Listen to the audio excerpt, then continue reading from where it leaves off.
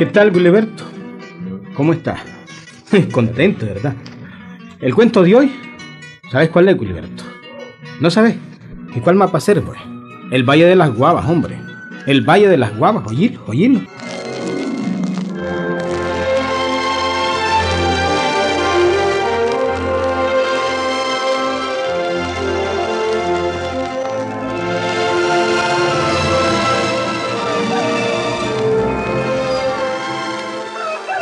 Allá montaña adentro, donde uno puede respirar sin mayores problemas el aire del campo, y donde todavía se puede oír los cantos de los gallos, el mugir de las vaquitas, allá queda el valle de las guavas, un vallecito olvidado en las montañas adentro, buscando al lado de Jinotega. Aquí es donde vivió siempre don Braulio Domínguez con su mujer. Ambos dos ya ancianos pasaban los últimos días de su vida. Ay, el canto de los gallos siempre me recuerda a mi famoso gallo Arquímedes. ¿Te acordás, Chalía? Ah, sí, me acuerdo, Braulio. ¿Cómo querés que no me acuerde? Hm. Si por ese bendito gallo escapaste de perder esta casa. Todavía le debes los dos mil pesos a Crescencio Matute. Ay, Crescencio sabe que no le debo nada. Mm, La pelea le hubiera ganado mi gallo. Pero alguien me lo mamó, le dio a beber guaro con agua y claro, el gallo no aguantó. mm, Bueno, bueno, sea como sea. La verdad es que le debes dos mil pesos a Crescencio, que ya ha intentado quitarte la casa y que no se le olvida la deuda. Hasta un papel firmado tuyo tiene. No te preocupes, Rosalía, ni los papeles valen cuando uno tiene la razón. Mm, ¿Y si los quita la casita? No la quita, no puede. Mm, no puede agorita. Pero mm, por el caso, como todos somos de la muerte, suponete que falta vos. Seguro que viene Crescencio y Clas me quita la casa. Cla nada, Chalía, nada, no te la quita, no te la quita. ¿Y si me la quita? No te la va a quitar. Pero ¿y si me la quita? Ya, pues no te la quita. Yo sé lo que te digo. Que vieja más te taruda, está jodida, man. Olvídate de eso. Dios siempre ha sido bueno con nosotros. No te la va a quitar. Mm, menos mal que no seguiste jugando gallo. Como todo juego, el juego de gallo acaba cualquiera. Yo sé que sí, pero es bonito, Chalía. Yo no me arrepiento, qué carajo. Yo con mi gallo Arquímedes gané plata que dio miedo. Un día le aposté 500 pesos y gané. ¿Así? El otro domingo le aposté 800 y también gané. ¿Lo ganaste? Y el otro domingo le aposté otros 500 y gané. Eh, ¿Sabes una cosa? Ese día que me lo mamaron, que me le dieron guaro, yo lo noté así como medio raro. Lo vi levantando una pata como quien hacía el piche, ¿ve? Y eso me preocupó. Como que quería demostrar que él era muy gallo, ¿verdad? Muy como los hombres cuando se maman que creen que... o como los sapos drogados.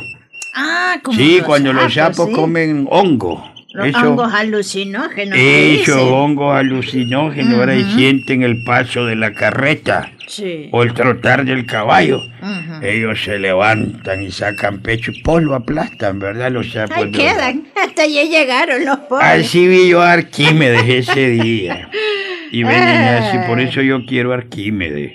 Él no dio esta casita, Chalía. Sí, Así. sí, sí, pero cuando apostaste dos mil pesos. Lo mataron al gallo. Mira, Chalía, todo el mundo sabe que mi gallo Arquímedes era invencible. Mm, Tenía 28 alces. Era como brujo, mi gallo. Este que le gustaba el guaro, jodido. Todos saben que me lo mamaron, me lo embolaron, le dieron guaro, más de la cuenta y el gallo perdió, ya todo mareado, ¿verdad? Fuera del lugar. Bueno, bueno, pero vos ya habías firmado la apuesta y perdiste y no tenías reales. Apostaste al bolsazo.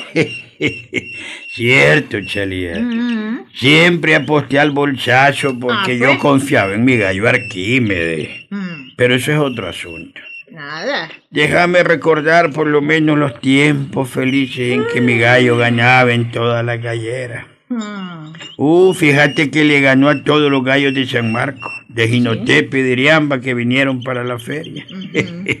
Son babosadas. sí. No ha habido gallo como Arquímedes. No. No ha habido ni habrá. No habrá. No habrá.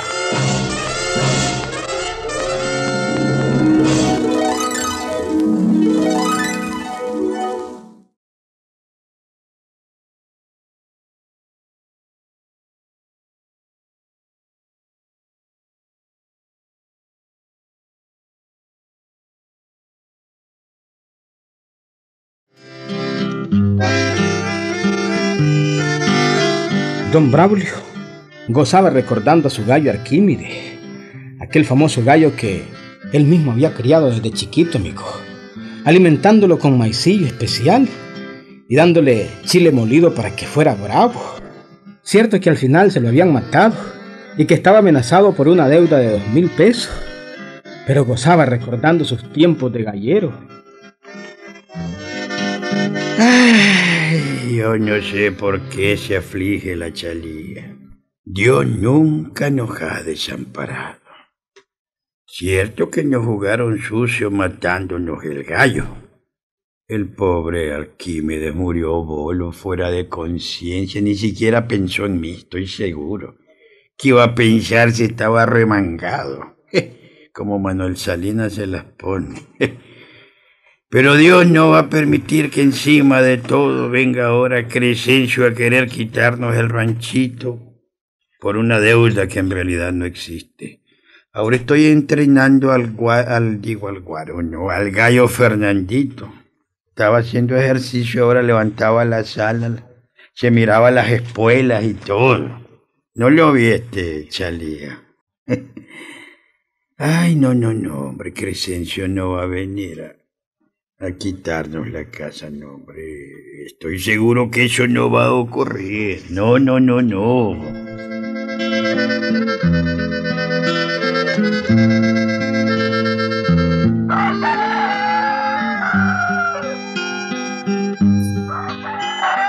Pero los días fueron pasando, amigo.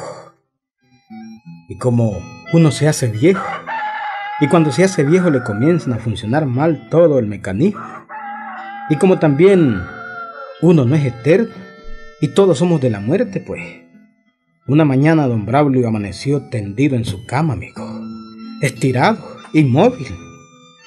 Él, que acostumbraba levantarse a las cinco de la mañana, no se había levantado, amigo. Y como a las seis y media, ñachalía lo fue a despertar. Ah, bueno, Braulio. ¿Y que amaneciste enfermo acaso, ah? Son las seis y media y no te has levantado. Hace rato que está el café. ¿No quieres un traguito, ah? Braulio. Mm, voy a despertarlo. Braulio. Braulio. Ay, Bra- Braulio. Bra- Braulio. Santo Dios. Este lado. Y tieso. Y pálido. Está muerto. Muerto.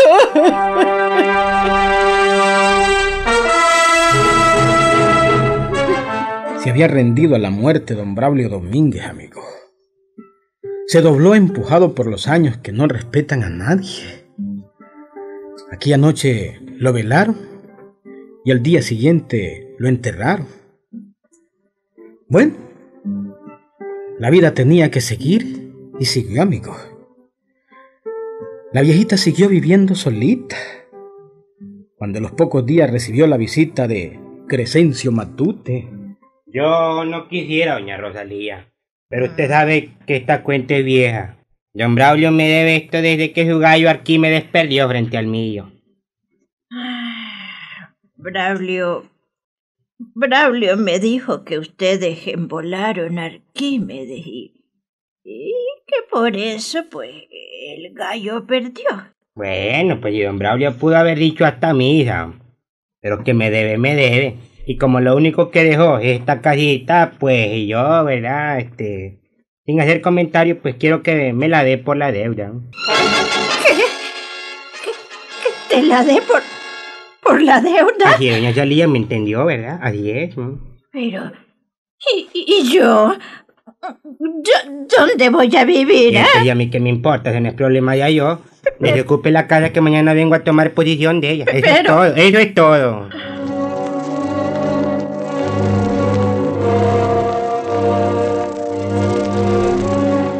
Y así era la cosa, Wilberto. Dicen que el muerto al hoyo y el vivo al bollo. La pobre ancianita aquella noche estuvo muy triste, Wilberto. Se acostó en su cama más sola que nunca, pensando que al día siguiente le iban a sacar de la casa. Así estaba acostada, pero sin dormir, mirando para el techo de la casa. A su lado ardía la luz del candil, cuando de pronto sintió algo, un repelo, algo como que alguien estaba al lado de ella. Santo Dios, siento un repelo. Tengo la piel erizada, como carne gallina. ¿No será que, que, que Brawley está conmigo? Hay una sombra proyectada en la pared. Braulio, ¿sos vos? Sí, Rosalía. Soy yo. No te aflijas, Chalita. Soy yo.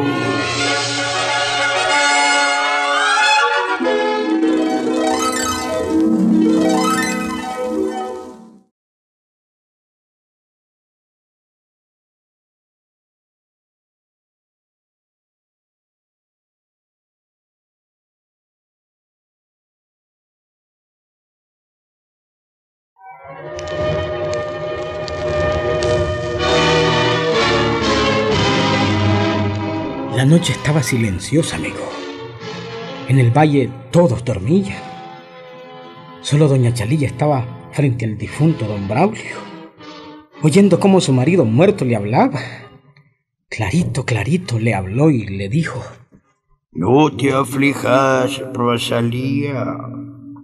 Deja que Matute te saque de la casa. No te aflijas. Déjalo. Déjalo. Está bien, Braulio. Pero decime, ¿cómo está vos?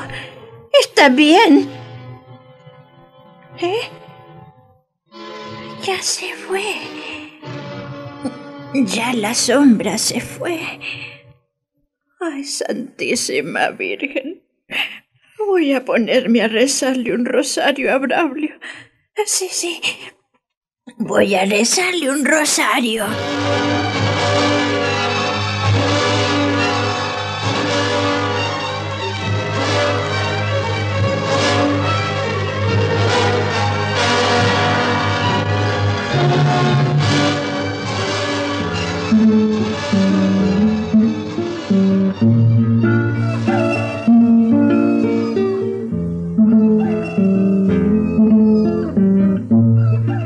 Cantos de los gallos del siguiente día, apareció Matute listo a ocupar la casa. Y la ocupó, amigo. La ocupó.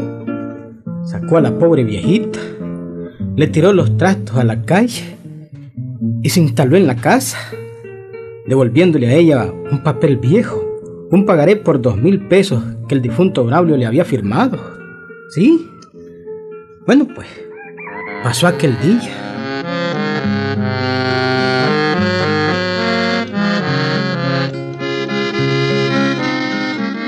Crescencio Matute era prestamisto y usurero. Vivía solo. No se había casado por no gastar en mujer y tampoco quería tener hijos para no tener que mantener a nadie. Él cocinaba y barrilla, amigo, y hacía todo. No tenía sirvienta ni empleada en ninguna clase. Así era Crescencio Matute, amigo. Bueno, la tardecita llegó al valle y después llegó la noche.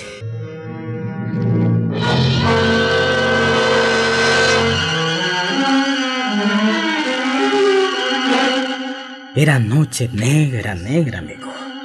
Y Matute dormía en la casa que aquel mismo día le había quitado a la anciana.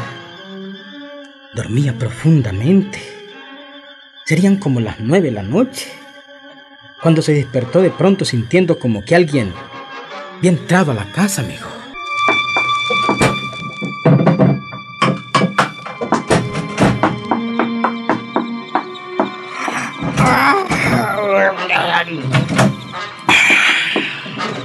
¿Qué? Pues yo estoy oyendo mal, pero ¿quién anda ahí? ¿Quién anda ahí? ¿Quién, quién anda ahí? Mm. Nadie, ¿eh? Eh, deben ser los gatos. Oh, sí, son los gatos seguro. Se volvió a acostar boca arriba. Pero al ratito oyó un ruido en las tejas, amigo. Y al momento un chorro de agua helada le cayó encima. Coño, qué agua más helada esta jodida. Puchica. Como me echaron un balde de agua. Dios, Dios mío, qué frío que está yendo. Oiga, hombre, no, no, no será que, que es la caraja casa, ¿no? Estará embrujada, ¿no? No serán de espíritus, ¿no?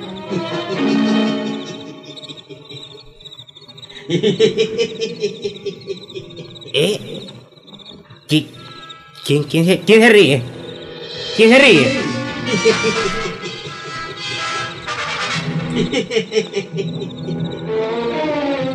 Sa, sa, sa, San Santo Dios. A- alguien se está riendo. ¿Qué- qué- ¿Quién será? ¿Quién se, ri- ¿Quién se ríe? ¿Quién?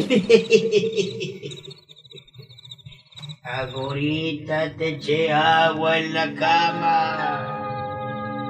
Si te volvés a acostar, te voy a echar otra cosa. Eh, eh, Usted, usted, don, don, don Braulio. Es tu conciencia, Chencho Matute. Es tu conciencia, maldito. Follón, fementido, aprovechado. ¿Cómo pudiste sacar de la calle a una pobre anciana que ya ni el vestido de Eva podía pagar? Eh, Don, don Braulito. Yo, yo, yo le juro que, que, que, que no lo vuelvo a hacer hoy. Que, que le devuelvo hasta su gallo vivo. Sí, no lo vas a volver a hacer. No lo vas a hacer. Porque ahora mismo te vas a largar de aquí y bien pillado. ¿Cómo no? ¡Toma, joder! ¡Ay, toma! ¡Ay! ¡Toma! ¡Ay, ay! ¡Toma! ¡Me está golpeando este muerto, jodido! ¡Ay!